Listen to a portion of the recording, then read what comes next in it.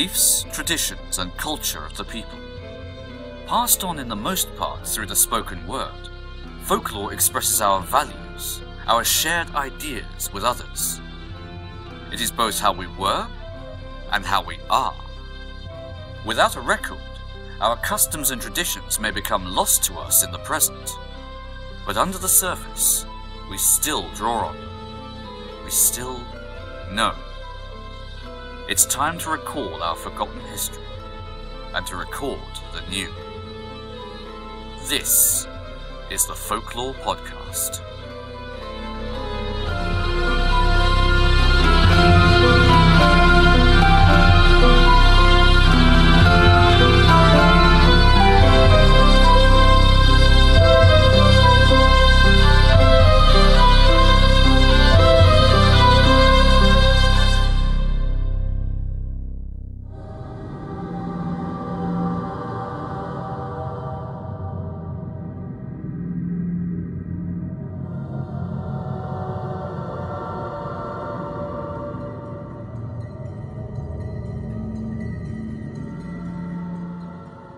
Cryptozoology is viewed by most people as a form of pseudoscience.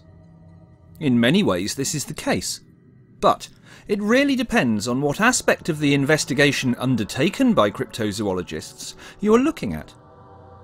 The field of cryptozoology, research into lost or legendary animals, known as cryptids, really has two strands. One part of this is looking for evidence of, or examples of, animals which were thought to be extinct, or have not been sighted for some time. This takes in the more zoological aspect of the field. The other is the search for evidence of legendary creatures, such as the Sasquatch or various lake monsters. This latter aspect lies more within the field of folklore. Academically, Cryptozoology tends to be dismissed because of its reliance on anecdotal evidence or oral tradition, although some more scientific areas such as the fossil record are sometimes used. It is this investigation into oral dissemination of stories which makes the field of cryptozoology of some interest to us as folklorists. I'm Mark Norman creator and host of the Folklore Podcast. In this episode, we feature another guest lecturer to give us a talk on their area of research. Paul Michael Donovan is a PhD candidate at Federation University in Ballarat, Australia, specialising in Indigenous and colonial cultural heritage, including artefacts, and folklore with a basis in ethnohistory. Paul Michael is passionate about local colonial history, especially concerning indigenous or settler relations. During an internship in history at Ballarat University, Paul Michael published a research project on William Buckley, a convict who escaped from an abortive penal colony in Port Phillip in 1803, lived among the Wadawurrung people, and assimilated into their culture until meeting the colonisation party in 1835 at Indented Head. Part of Paul Michael's research into this took in areas of a folkloric or legendary creature in Australia known as the bunyip. In this episode of the Folklore Podcast, here is Paul Michael Donovan to tell us about bunyip folklore in Australia. Hello, my name is Paul Michael Donovan of Federation University Australia in Ballarat, Victoria, and this is my podcast on the bunyip. Modern Australia's folklore has developed over almost two and a half centuries since British colonisation, which has brought a cultural diversity to this continent. Stories, songs, traditions, rituals, and ideologies from every corner of the globe have added to Indigenous folklore to create a uniquely Australian cultural identity. Despite the attempted genocide of Australian Indigenous peoples and their languages and cultures through massacres, systemic violence, and the stolen generation, certain aspects of their mythology and folklore have been powerful enough, interesting enough, or pertinent enough to have been translated, adapted, or appropriated whole as bolas into a wider, mainstream Australian mythology. One such aspect of the Australian mythology is the bunyip, an umbrella term now ascribed to a variety of indigenous folklore about amphibious monsters. Bunyips were originally described in earlier colonial encounter stories as strange water-dwelling predators, covered with feathers or fur. The bunyip is described as attacking and eating humans, and was widely feared by contact area indigenous peoples, especially people of the Kulin nations, specifically the Djab Wurrung, Wadawurrung, Bunurong, Dongwurrung, and the Wemba Wemba and Wergaia people, and then consequently by settlers. One of the most widely reported encounters with the creature is that it could often be heard bellowing and groaning in close proximity to waterways and lagoons. Its call was reportedly a distinctive two-tone booming which resounded in the night, striking terror into all who heard it. Variations on bunyip legends are ubiquitous. A diverse array of such monsters existed in the contact era indigenous Australian cultures. The bunyip now features widely in modern Australian children's literature, and there have continued to be sightings of the beast by settlers since the 1830s. One of the earliest such sightings was reported by colonial explorer and escaped convict William Buckley, who lived among the Wadawurrung people between 1803 and 1835. He was the first European to integrate and live long term among the Wadawurrung people. Since the Bunyip mythology, in its Wadawurrung form, was recorded by William Buckley, it has transcended linguistic, racial, and cultural boundaries to become central to Australian culture and become default term for all other previously independent indigenous mythologies relating to water-dwelling monsters. Now, William Buckley describes in his memoirs a very extraordinary amphibious animal which the natives call bunyip, covered with feathers of a dusky grey colour about the size of a full-grown calf, the creatures only appear when the weather is very calm and the water very smooth. The natives had a very great dread of them, believing them to have supernatural power. As to occasion death, sickness, disease, and such like misfortunes, they seldom remain long in neighbourhoods after having seen the creature. This was from William Buckley's memoirs. It's important, though, that Buckley's story was published in 1852 although it contains stories from his life between 1803 and 1835, including indigenous folklore, language, and other anecdotal histories. This situates the use of the term and the belief in the Bunyip mythology to this period before European settlement in the area now known as Victoria. It is also important to note that Australia is home to 250 distinct indigenous languages, each belonging to its own indigenous country, which has its own distinct beliefs, stories, ritual traditions, and politics. The Victorian Aboriginal Corporation for Languages, the VACL, identifies 38 languages and 11 language families in Victoria alone. Many of the 38 languages are further divided according to clan groups and their traditional lands. When examining the story of the Bunyip, it's important to distinguish Buckley's Bunyip from other indigenous mythologies, non-Wadawurrung stories, traditions and reported sightings of other lagoon-dwelling and amphibious mythological beasts that have been reported from both indigenous and non-indigenous people throughout the centuries. Unidentified creatures whose descriptions resemble a variety of physical characteristics, ranging from crocodiles, emu, platypi, and thylacines, to things like diprotodon, codfish, seal, and manatee, and various other actual and mythological creatures. Their geographical origins range from the rainforests of Queensland to the outback of New South Wales, through Victoria and Tasmania. Among the Victorian tribes were variations on the Bunyip myth, as well as other similar creatures with other names, which were later assimilated into the Bunyip mythology. Early ethnographers such as R.B. Smyth, A.W. Howitt, R.H. Mathews, G.A. Robinson, and W. Thomas recorded indigenous language across southeast Australia, and their lexicons indicated distinguishing local variations on the Bunyip myth. The word Bunyip appears in Wadawurrung, Djab Wurrung, and Woiwurrung mythologies. The Bunurong people called the Bunyip Turudun. Ideas of the Bunyip on the Murray River and along the coast and the swamplands of the Western District also existed but originally had other names. Like the bunyip, a giant supernatural snake named Mindai was ubiquitous among Port Phillip tribes, over a large portion of the central and northwestern district of Victoria. There was also Moorabool, who lived in a deep water hole in the Moorabool River, and Turu Dun, who inhabited Stalls Creek near the township of the modern day Tooradin. Similar amphibious mythological beasts in this area. Doubtless, countless others existed elsewhere throughout Australia. Many of these independent mythologies have been retrospectively homogenised by non-Indigenous writers and then categorised as bunyips. Bunyip, after this point, in the early contact era, became an umbrella term for mythological creatures, which are independent and have no connection to the Wadawurrung and Djab Bunyip. The one commonality is that they all almost invariably inhabit deep water. The term bunyip originated as a Kulin term from central and western Victoria.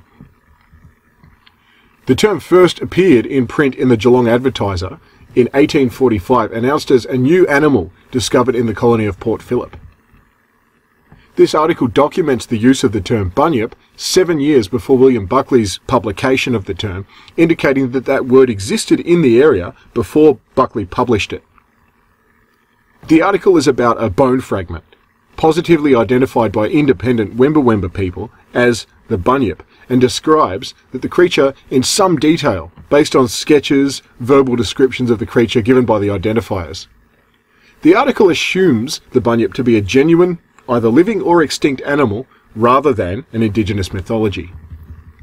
In the Tasmanian Journal of Natural Science in 1847, Ronald Gunn attributes the origin of the Bunyip mythology to the Port Phillip Aborigines, a generic term for the Kulin people.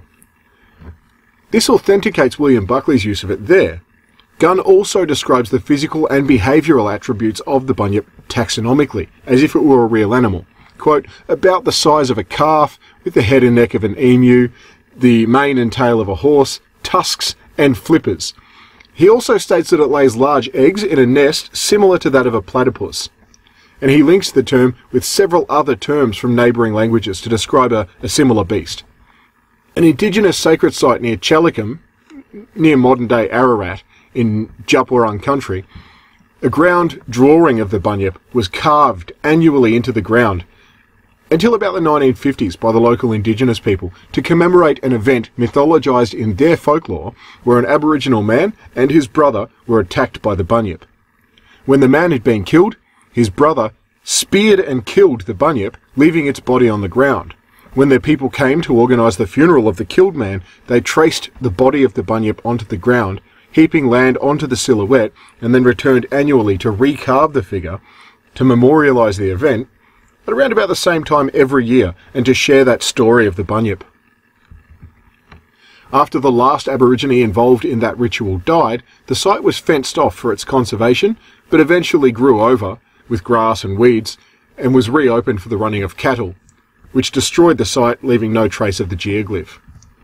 Given that the above sources agree in situating the origin of the, origin of the term among the Kulin languages, and these people were on good terms and in frequent communication in the form of intertribal marriages and gatherings, it is probable that the oral traditions and mythologies were shared among these people in contiguous countries. Given that the Djab Wurrung Bunyip seems to be the only one in the group with a provenance in an event, actual or perceived, it seems that this is the origin of the Bunyip myth passed orally to other countries surrounding, potentially as a warning against an actual danger. Though, this is hard to verify exactly. Through kinship net- networks and fraternization, fear was evoked in a creature that nobody had personally seen, but everybody knew someone who had. A kind of like an urban legend. Stanbridge's explanation in 1857 of the stars and astronomy representing two men who fought the bunyip, one being its victim, the other its slayer, tend to agree with the earlier accounts of the two men who encountered the beast near Challicum in Djab Wurrung country. Philip Clark claims that the bunyip originates as a Wemba Wemba or Wergaia word. However, while his sources indicate that the word and its variations, Parnip, Ponip, Punipdor, Wimbunip, Bunip, and Bun Yip all exist in those languages, there is no evidence that they originated there. These languages are culturally and geographically contiguous to Wurrung country, and Clark has not made the connection with the originating myth of the Challicum Bunyip. whose ritual tradition predates the Murray Down Bunyip. Now, I argue that the Djapurrung Challicum version of the Bunyip is the root of the tradition and the root of the word, which has then been passed on to the Wemba Wemba, Werrigaya, and others in the area. William Buckley was one of the foremost sources of ethnographic information on contact era Wadawurrung culture between 1803 and 1835. His memoirs, titled The Life and Adventures of William Buckley, 32 Years Amongst the Aborigines of the Then Unexplored Country Round Port Phillip, was published by John Morgan in 1852. In 1803, William Buckley escaped the Sullivan Bay penal settlement, now Sorrento, Victoria, and survived against all odds to live among the Wadawurrung Balug people. Buckley's account of the Bunyip is brief in his memoirs, but along with a variety of newspaper articles from around about the time that Buckley's memoirs were published, he may well be the catalyst to this obscure pre-contact Kulin myth exploding into the broader Australian zeitgeist, and thus eventually making its way into mainstream popular culture as an Australian equivalent to, say, Bigfoot or the Loch Ness Monster. The fact that Buckley cites bunyip as the Wadawurrung word for the animal is significant. This situates bunyip mythology in the area around modern-day Geelong and Ballarat in times pre-European contact, and offers an attempt at a description of the beast. The sketchy nature of the description and the fact that no Wadawurrung people had ever personally seen the animal, yet they literally believed that it existed, indicates a second-hand knowledge of the Djab Wurrung myth from the Challicum ritual. This incident positively identifies the mythology as local. James Bonwick wrote on Buckley's life, after Buckley's death, adding a broader context to Buckley's life and times through ethnographic inquiry into Wadawurrung histories and mythologies. Quote, assuming a role of a critical, unbiased historian, end quote. So, as to provide an educational, academic history of Buckley's time with the Wadawurrung. Bonwick makes no reference to Buckley's personal encounter with the Bunyip, though he, like other documenters of his time, asserts that the bunyip is an actual creature rather than a superstition or a myth. Quote, Among the superstitions has been placed in their belief the fabulous bunyip. This monster was said to issue from the lakes and carry off children, even women. The natives never attempted to kill one, some early stock keepers asserted the presence of a large amphibious animal covered with hair, but since the more complete settlement of the country, the bunyip has disappeared, to dwell with the banished ghosts and fairies of the olden time. Following the first time the word bunyip appeared in print in July 1845, announcing a new animal discovered in the colony of Port Phillip, the mythology took on a new form settlers were discovering a foreign and exotic environment and attempting to understand an alien landscape and pantheon through a lens of well-entrenched Eurocentric naturalist and supernaturalist paradigms. Once the story of the Bunyip had entered into mainstream colonial culture through the media, settlers were wary of the dangerous creature and began citing it in their work and in their travels, lurking in the shadows around deep water. This became a concept with which to explain the unknown through a comfortable term. One of the first incidences to validate the Bunyip mythology as an animal in colonial Victoria was the finding of a then unidentified skull in the Murray Downs Murrumbidgee area. Shortly after this incident, there were a spike in reports of other Bunyip sightings throughout the New South Wales colonies. In 1847, the skull was originally shown to several Aboriginal groups who had not been in communication with each other, all of whom identified the skull as positively as having belonged to a bunyip. The skull was exhibited in the Colonial Museum of Sydney, but later on scientific examination proved to be the skull of a severely deformed horse. It is from this incident that the common idea that the bunyip myth originated here in Wemba Wemba country, in the Murray Downs area, and from the Werrigaya people as it did exist in their language. However, that is not to say that it did actually originate there.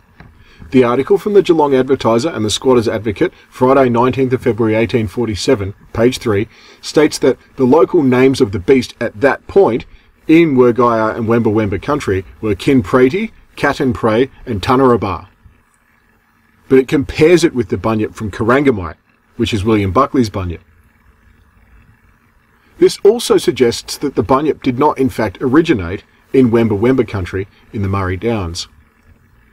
Between 1845, from the wonderful discovery of a new animal in the Geelong Advertiser, and 1847, with the finding of the skull, the story had been distributed verbatim to newspapers throughout the Australian colonies, from Sydney to Hobart, right through. And a wave of sightings then ensued all over Australia. People began describing their sighted beasts in terms of very different from the original nightmarish man-killing, wayward, seal-cut creature, and began describing the animal as everything from the mundane, turtles and crocodiles, cows, camels, even a whale, to the supernatural, dragons, sea serpents, kelpies, spirits, nymphs, dinosaurs, etc. Thenceforth, we find different types or versions of the bunyip starting to appear through local myths. The later descriptions of the bunyip, having the head of an emu, features of a crocodile, etc., are all post these events. Now, from contemporary sketches, the geoglyph of the Challicum bunyip sighted in the Djab Wurrung country near Ararat, bears a striking resemblance to a seal. The descriptions of the original Bunyip mythology also bear a striking resemblance to a seal. Coupled with the occasional, though extraordinary, appearance of seals who accidentally swim into estuaries and become trapped inland up rivers, this has led to the dominant theory among anthropologists and folklorists that the origin of the myth was actually an attack of a seal in an indigenous country where the men involved had never seen a seal and had no reason to know what one was. Many scholars and cryptozoologists agree that the origin of the Bunyip mythology, before it was homogenized with other myths as we discussed here, stemmed from inland indigenous communities having no knowledge of marine life encountering these wayward seals who had strayed inland, thus mythologizing their appearance and passing the experience through oral tradition. Seals can be found in inland lakes and waterways after flood ties, this theory is in keeping with the fact that the Challicum bunyip resembles a seal, and that all the original indigenous accounts of the bunyip were in keeping with this description prior to the press release in 1845, where it takes on a fantastical dimension. Astrological traditions from the Wemba Wemba people agree with the story of the Challicum bunyip, offering a continuum of that oral tradition from Djab country, the place which mythologized the event, and into Wemba Wemba country, the region usually purported to be the origin of the term. As the myth reached the interstate newspapers, settlers, journalists, fishermen, farmers, and folklorists developed an awareness of this idea of the bunyip, and were thus on the lookout for such a thing in their daily travels. Immediately, other mythologies began to be identified as types of bunyips, Aboriginal mythologies and descriptions of crocodiles and other predators and other animals were superimposed onto that Djab idea, which was foreign to these places, such as Sydney, Hobart, Perth, or far north Queensland. Sightings of other strange and unknown creatures began to be explained as bunyips, and this had by this time become a familiar image, an elusive creature within our Australian taxonomical paradigm.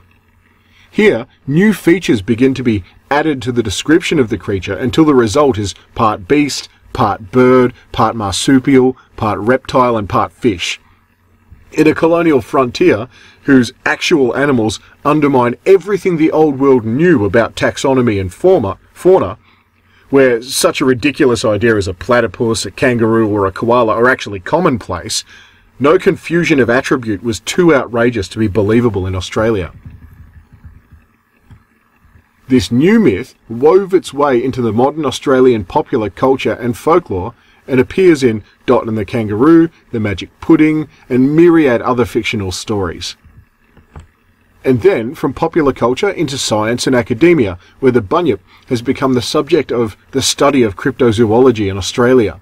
Also, many towns in Australia have adopted the bunyip as their civic identity, creating bunyip themed tourist attractions although local indigenous people argue that the mainstream Bunyip images are not in keeping with their mythologies.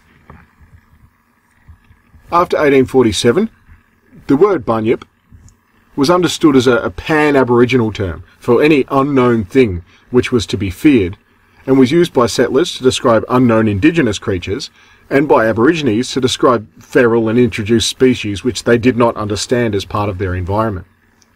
Any reference to the bunyip which originates post 1847 or outside of the original Djab Wurrung, Wadawurrung, and other Kulin nations and surrounding vicinity is a new and independent mythology, borrowing the name from the Djab Wurrung myth and homogenizing a variety of creatures, actual and mythological, producing a modern, colonial mythology with its own overarching identity, which has resulted in misunderstanding, homogenization, narrative fragmentation, and hence the confusion as to the image, appearance, and identity of the creature. I'd like to thank you for taking the time to listen. It's been a privilege. Thank you.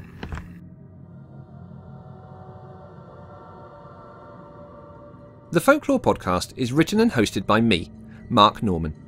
You can follow my research and writing on Facebook at www.facebook.com slash Mark Norman Folklore. The guest in this episode of the Folklore Podcast was Paul Michael Donovan. The Folklore Podcast art director is Melissa Martell. Find out more about Melissa and her work at www.mdmcreate.com. A supplementary e magazine for this episode is available to download from the Folklore Podcast website. Click on Supplements on the Episode tab to find this and all of our other past supplements, designed by Melissa Martell. Remember that Folklore Podcast patrons at any level receive all of our supplements as they are published, as well as other rewards. To become a patron from as little as a dollar a month and support the future of this podcast, please visit www.patreon.com slash the folklore podcast or link from our website homepage. Please continue to rate the show on your podcast provider, join our social media pages, and share the episodes to help us to grow and develop. With your help, we can continue to educate and entertain our growing audience with these episodes. The Folklore Podcast theme tune is written and performed by Gurdy Bird.